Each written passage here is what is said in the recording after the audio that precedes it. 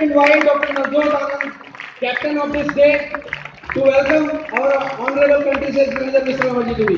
Please, Dr. Nazrul Anand, on the stage.